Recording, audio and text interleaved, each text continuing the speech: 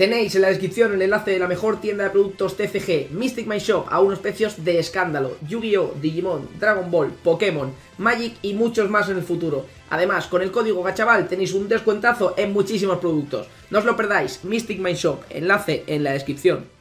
Muy buenas gente, bienvenidos a un nuevo vídeo, bienvenidos a un vídeo más de Digimon Card Game y bienvenidos a por el primer deck profile de BT7 Qué ganas tenía, de verdad. Sé que en los últimos meses he estado un poquito más apartado del mundo de Digimon Card Game Simple y llanamente porque tampoco estaba muy animado. Si es que BT6 ha durado demasiado, 6 pedazos de meses, medio año prácticamente Creo que han sido 6 meses, igual me lo estoy inventando, pero yo juraría que han sido 6 meses. Demasiado tiempo con una expansión. No, pero casi sin entre medias, creo que no, no pueden haber sido 6, ¿no?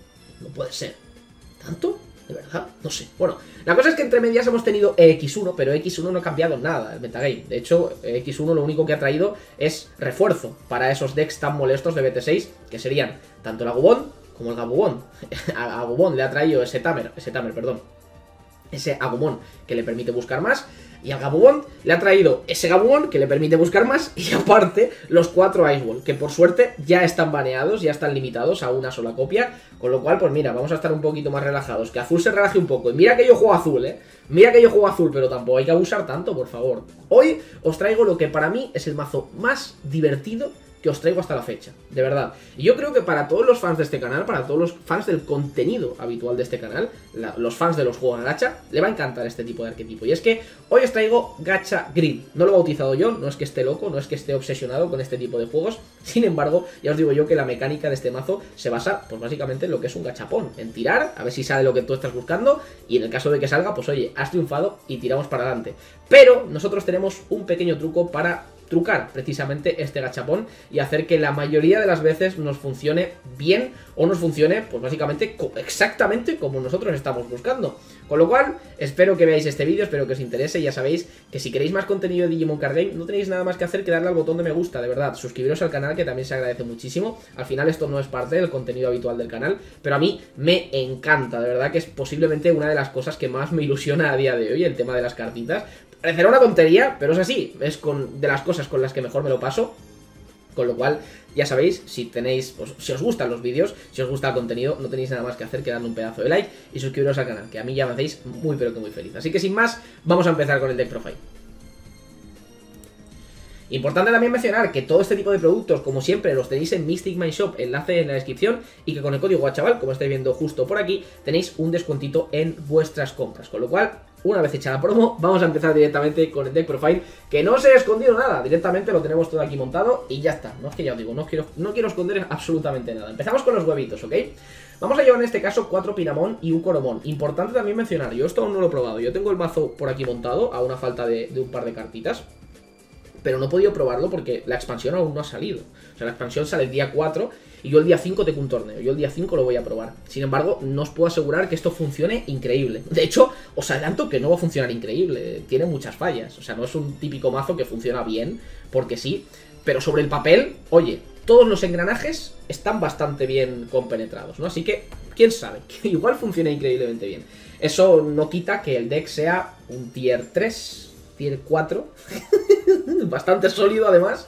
Pero muy divertido, de verdad, que es lo que yo voy buscando. Yo no voy buscando un deck competitivo, yo voy, yo voy buscando divertirme. Y en este caso, con este deck, ya os adelanto que lo vamos a conseguir. Y en alguna ocasión nuestro rival va a flipar. Así que vamos al lío, empezamos con los huevitos, Pinamon, un Digimon que nos va a permitir a la hora de atacar a un Digimon rival, pues básicamente robar cartas. Eh, esto nos va a permitir atacar a los Digimon girados, obviamente. Vamos a necesitar que los Digimon del rival estén girados. Eso nos lo van a permitir nuestros level 6. Aparte de eso, también nos viene increíblemente bien, porque como estaréis viendo por ahí, llevamos bastantes level 6. Es que no los estáis viendo todos porque ahora los tapa la información de Pinamon. Pero llevamos bastantes level 6. Entonces, igual, si por lo que sea nos briqueamos y tenemos muchísimos level 6 en nuestra mano, que no sería lo más habitual, ¿no?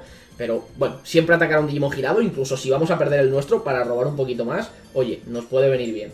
Con lo cual, Pinamon, robamos una carta y con nuestros level 6, sobre todo con ese Ancient y con el que está justo debajo, que sería el Ebongomon, vamos vamos a hacer una sinergia realmente increíble. Así que Pinamon, cuatro copias y Coromon, una copia. Coromon es el huevo nuevo de BT7. En este caso lo que nos permite es, cuando atacamos, revelar una carta del top y básicamente decidir si ponerla en el top de nuevo o ponerla en el bottom.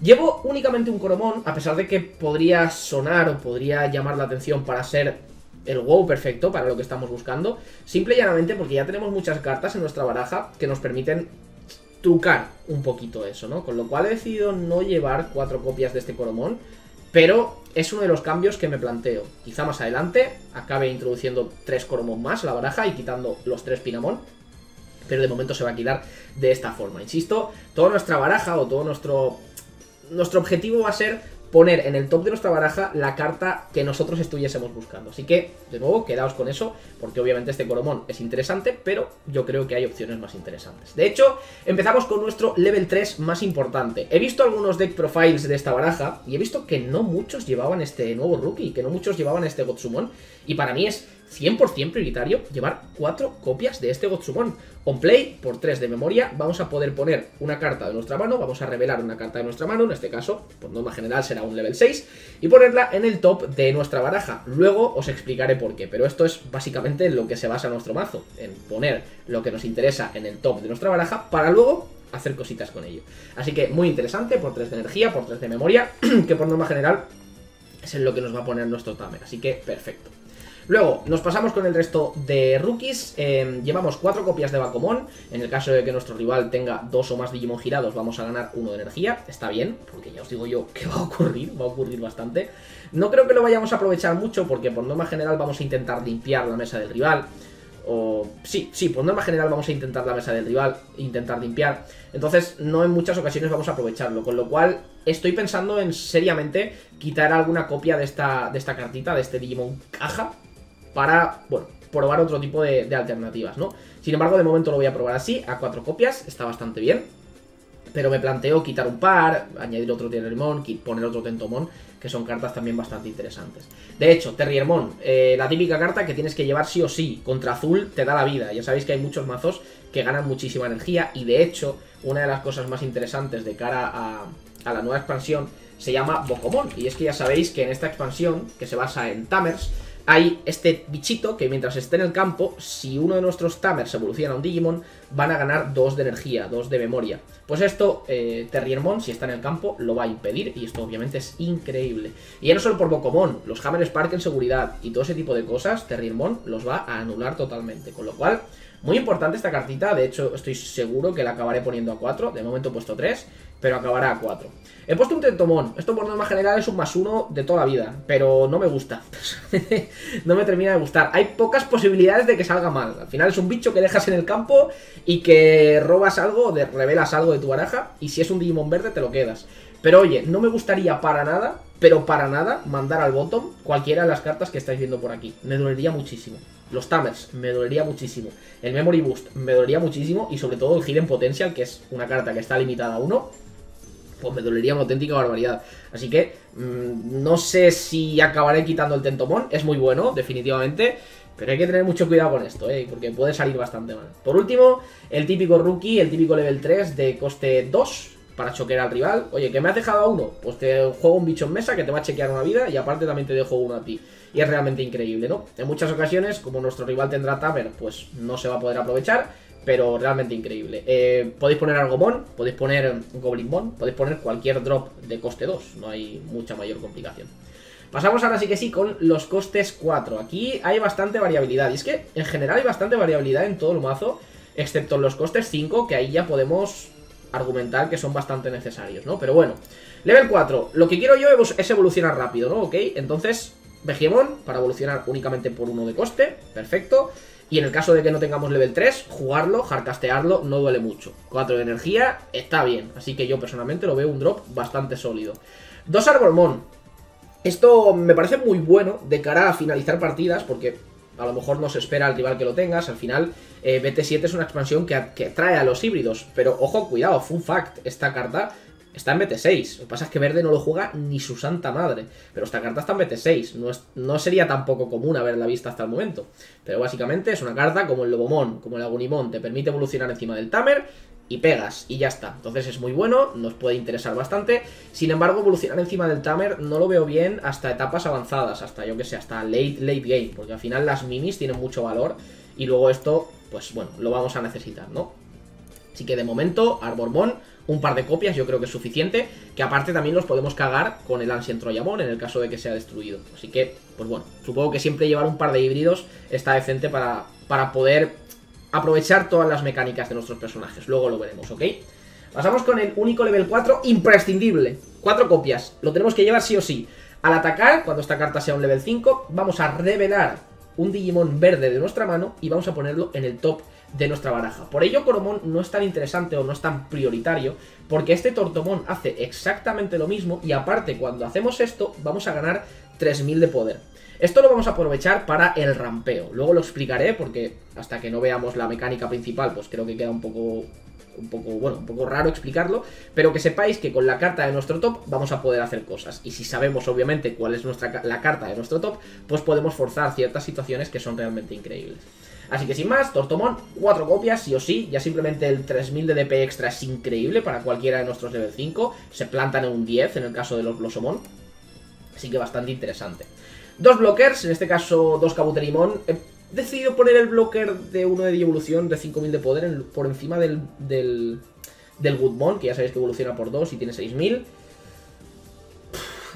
Lo tengo que testear, ¿vale? Porque esta expansión hay mucha agresión y quizá el otro blocker venga mejor. Iremos viendo, iremos viendo iré testeando, ya, ya iremos viendo, ¿vale, gente? De hecho, mira, vamos a revisar una cosa, porque hay una carta que me preocupa para cuando juguemos contra rojo que sería el Burning Greymon, pero es este Burning Greymon. Vale, no, te cargas carta de 3000, pues nada, no, he dicho nada. Eh, supongo que no está mal. O si te cargas uno de 4000 o menos, vale, estamos bien, estamos salvados. Con lo cual, Kabuterimon está bien, pero Goodmon podría ser también interesante. Así que, sin más, Digimon Blocker. Pasamos con los level 5, aquí empieza la fiesta. De hecho, he hecho un pequeño cambio antes de empezar con, esta, con este deck profile. Porque viendo lo que hace Tortomon y viendo lo que hace Gotsumon, creo que llevar que es lo que llevaba hasta el momento, o lo que quería llevar hasta el momento. Cuatro de estas. Y cuatro de estas es abusar. Son dos Digimon que hacen exactamente lo mismo, ¿ok? Son dos Digimon que a la hora de atacar revelamos tres cartas del top de nuestro deck y si hay un level 6 entre ellas, podemos directamente evolucionar a este level 5 en ese level 6 sin hacer ningún tipo de coste y el level 6 obviamente se va a quedar en el campo. Esto es lo que se conoce como rampeo. Directamente tenemos un level 5 pero ah, se ha convertido en un level 6. Por ello, saber cuáles son nuestras cartas que están en el top 3 o en el top 1 de nuestra baraja es realmente interesante y realmente importante. Cosas que podemos manipular, como habéis visto, con los Gotsumon, ya sabéis que es el drop de level 3 o un, Digimon de level 3, y con los Tortomon, que podemos poner cartas de nuestra mano ahí, directamente en el top de nuestra baraja. Así que es súper interesante. Al principio llevaba 4 copias de Yagamon y 4 copias de Mametiramon, pero he llegado a la conclusión de que podemos podemos abusar tanto de esta mecánica gracias también al Tamer, que también obviamente tenemos que tenerlo en mesa, ¿no? Pero podemos abusar tanto de esta mecánica gracias al Tamer que quizá no, quizá no sea tan necesario que todos nuestros level 5 hagan esa mecánica. Por ello, he aprovechado para meter Tres Blossomon, ya sabéis, la mecánica de Digisorption, es básicamente un Digimon de level 5 que sale gratis, porque sale gratis, giras uno de tus Digimon y el Digimon sale gratis, en lugar de costarte 3, te cuesta 1. Y aparte, una copia del Argomon, que sabéis que está limitado exactamente lo mismo que el Blossomon, pero aparte de heredada, a la hora de atacar, podemos jugar un Digimon de level 3 girado desde nuestra mano directamente. Así que es súper, súper fuerte. Pero bueno, aquí es donde está el gacheo, aquí es donde está la suerte en la mecánica de Mametiramon y de Yagamon, una carta de BT1 que hasta el momento pues no tenía una consistencia bastante interesante como para jugarlo. Mametiramon, me encanta, un Digimon que lo puede jugar a pelo, 5 de energía, en el siguiente turno atacas y por la cara te plantas encima un Digimon de level 6 super tocho con apenas nada de memoria. De hecho, apenas nada de memoria no, gratis, totalmente gratis, es brutal. El Nidhomon Tech, si tenemos una pila completa, Nidhomon Tech es buenísima. Esta carta es posiblemente una de las mejores cartas verdes de toda la historia. Y lo que haces es digiburstear las 4, quitas toda tu cadena evolutiva y vas a girar todos los Digimon del rival de 5000 o menos. Y aparte de eso, todos los Digimon que estén girados van a irse al bottom del deck. Esto es súper, súper combo con, de hecho, alguna de las mecánicas de nuestros level 6 principales que, que veremos un poquito más adelante. Argomon, la estrella de la baraja la estrella, con muchísima diferencia. De verdad, qué contento me ha hecho ver esta carta, os lo prometo. Ya simplemente es un level 6 que puede bajar simplemente por 2 de energía, que esto no es muy común. Sobre todo si los efectos de, los level 6 eh, hay algo, ¿no? Antes era común cuando era el típico vanilla, ¿no? Como en el caso del Argomón que estábamos viendo en level 2, un bicho de level 6 que no hacía nada, tenía poder y punto. Pues no, este es un bicho de level 6 con 11.000 de poder que puede bajar por únicamente 2, por norma general bajará, bueno, podría también bajar por 4, pero que al DJ evolucionar va a girar todos los tamers del rival. Y durante todos los turnos esos tamers no se pueden suspender. Esto no significa que se vuelvan inútiles, eh, pero de nuevo, BT7 se convierte en una expansión de híbridos. Mucha gente va a llevar los Tamers. Y lo que quieres es evolucionar en los Tamers para hacer cosas. Pues gracias a esto, vas a evolucionar los Tamers, pero esos Digimon van a salir girados. Y gracias a las mecánicas extra del resto de nuestros level 6 y de nuestros propios bichos, tenemos bastante agresión para cargarnos con esa mesa, eh, cargarnos esas mesas de, bichos girados bastante sencillito. Así que Argomón, increíble, vas a girar todos los tamers del rival, en el caso de que sea el típico tamer que necesitas para algo, pues directamente no lo vas a poder aprovechar, yo que sé, los aratas o algo por el estilo contra, yo que sé, contra... Contra Diaboro yo lo veo insta-win. Literalmente lo veo insta-win, porque no vas a poder sacar tokens, más allá de los efectos de tu Diaboromon, ¿no? Pero es brutal, de verdad, me parece increíble y es una carta de BT5. Pero claro, ahora los Tamers van a tener tantísima importancia que va a ser brutal, de verdad. Me encanta este Argomón y me encanta poder utilizarlo porque yo sé que es una carta en la que a lo mejor no mucha gente ha pensado. Así que maravilloso, Argomón. Como otro level 6 tenemos Ancient Troyamon, una carta que durante el turno del oponente, si nuestro Digimon ataca, si nuestros... Eh, si nuestro Digimon, o sea, perdón, a ver, si nuestro rival ataca con sus Digimon, vamos a poder suspender hasta dos Digimon del rival que no tengan blocker. Esto es brutal. Esto es brutal. O sea, cuando... Imaginaos que el rival tiene una mesa de tres bichos y ataca con uno. Los otros dos se los vamos a girar. No va a poder hacer nada más, se los vamos a girar. Así que es increíble, de verdad, es brutal. Aparte de eso, cuando sea destruida esta carta, vamos a poder jugar un híbrido desde nuestra mano. Por ello, es por lo que os, por lo que os imagináis y por lo que al final acabé implementando este Arbormon. Para, uno, robar partidas a la hora de evolucionar encima de nuestro Tamer. Y dos, en el caso de que se muera nuestro, nuestro Ancient, pues oye, sacarle algo de valor y poder poner un, bicho en mesa totalmente gratis. Así que Ancient Troyamon, un bicho de 13k, súper fuerte, y cada vez que nuestro rival ataque, pues paramos la, agresión. Vas a tener muchos bichos en mesa, da igual, solo vas a poder atacar con uno. Y eso de girárselos, eh, ya sea con este Ancient Troyamon, o ya sea con el Argomon, ya sea con, pues bueno, con, con nuestras mecánicas principales del mazo, Aparte, lo vamos a aprovechar muchísimo con la nueva SR de BT7, que es Ebongumon. Ebongumon es una carta que si nuestro rival... Bueno, aparte de eso, voy a, explicar la Digievolución, pero cuando Digievolucionamos vamos a girar un Digimon del oponente. Y aparte, la Digievolución, el coste de la Digievolución va a ser uno menos por cada Digimon girado del oponente. Es muy similar a Zulongmon, de hecho es otra de las bestias sagradas, me, llama la atención que sea de esta manera. Pero básicamente eh, es una especie de Azulongmon que cuando todos los Digimon del, rival estén girados, nos va a costar muchísimo menos, porque pagamos 5 por evolucionar, pero eh, vamos a recuperar energía. De hecho, ganamos energía, como estáis viendo por aquí. Esto es brutal, esto es brutal, porque si por lo que sea lo evolucionamos gratis, con el efecto de Mame Tiramon, con el efecto de Yagamon, o con el efecto de nuestro Tamer Dual, vamos a bajar un bicho que por norma general nos costaría 5, vamos a girar un bicho del rival y si tiene más bichos girados, encima vamos a ganar mucha más memoria. Es brutal, o sea, es que es brutal, es que, vale, se tienen que cumplir muchas cosas, pero es que es brutal, de verdad, me encanta. Aparte de eso, mucho cuidado, aparte de eso, durante el turno del oponente, todos sus Digimon van a ganar un efecto, y es que si quieres restandearlos, si quieres volver a ponerlos activos para que puedan atacar, vas a tener que descartarte una carta de tu mano. Me encanta. Me encanta. Le quitas recursos, le obligas a que sus recursos no puedan atacar porque se los giras. Y si quiere que, y si quiere que ataquen, va a tener que descartarse cartas. Es que es brutal. Me encanta, de verdad, me encanta. Yo creo que es una combinación brutal. Aquí te metes los Argos, los Ancient, los Ebon Es brutal. De verdad, me flipa.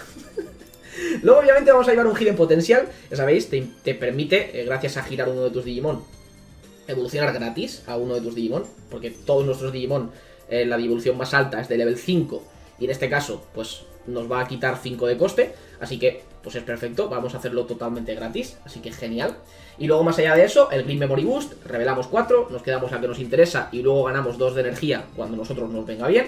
Y luego los Tamers. Mimi, el tamer de rampeo por excelencia. Cuando tienes un level 5 en mesa, lo giras, sacas otro huevo y aceleras muchísimo lo que es tu, tu llenado de mesa, lo que es meter bichos en el campo. Así que brutal. Y por último, Easy y Mimi, posiblemente el peor Tamer Dual del juego, pero que tiene el mismo efecto que el level 5 principal de la baraja, el Mametiramon, y que el Yagamon, ¿no? Este efecto lo que nos permite es cuando un Digimon de level 5 nuestro ataque, eh, ataque, ¿no? Vamos a poder girar este Tamer para hacer el mismo efecto, ¿no? Revelamos las tres primeras cartas de la baraja y evolucionaremos totalmente gratis directamente a un level 6 en el caso de que lo encontremos, ¿no? Sin pagar su memory cost. Así que, brutal. Me flipa, me flipa esta baraja, de verdad os lo prometo, me parece increíble y tengo unas ganas brutales de jugarla. De hecho, muy seguramente el primer torneo que veáis, ya sea las primeras partidas que veáis por aquí en el canal de BT7, que sean mías obviamente, pues va a ser con este mazo y buah. Dios, es que no sé, las posibilidades son tan chulas y haces cosas tan locas que, no sé, me flipa. Yo sé que la gente prefiere jugar cosas más estables y que funcionen mejor, ¿no? En, la mayoría de las situaciones. Pero a mí este tipo de cosas locas me, flipan. Y es lo que realmente quiero jugar. De verdad, me flipa. Jugaré otras cosas, pero esto os adelanto ya que está montado. Es que esto, esto está montado. Me falta. Me faltan las tortugas. Me faltan dos bichos de estos. De verdad, dos. Dos de estos y dos de estos. Y ya lo puedo jugar. Tengo unas ganas que flipas. Así que nada más, gente. Espero que os haya gustado muchísimo este deck profile. Aquí ya podéis hacerle un guiazo a la pantalla para, para básicamente, quedaros con el mazo y probarlo. Es súper barato, de verdad. La carta más cara de este mazo posiblemente sea Ninjomon. Pero es que no hace falta ni llevarlo. Pero es que es súper barato, súper barato, perdón. Es que, es que no lleva nada especial. Es todo pocho. ¿Esto qué va a valer? Esta SR que va a valer un euro. Pues un euro. Esto, esto es una R. Es que es brutal, es increíble, de verdad. Muy barato, muy chulo, muy interesante, os recomiendo probarlo. Así que ya sabéis, dejadme en los comentarios si lo vais a probar, si no, seguramente no. Pero vamos, a mí me flipa. Nada más, espero que os haya gustado muchísimo este vídeo de Digimon Card Game. De nuevo os aviso a lo de antes. Si queréis apoyar el contenido de Digimon Card Game, se agradece muchísimo, de verdad. Dale un pedazo de like, suscríbete, comparte el vídeo. De verdad, muchas, muchas gracias por ver el vídeo. Y nos vemos en el próximo. Hasta luego.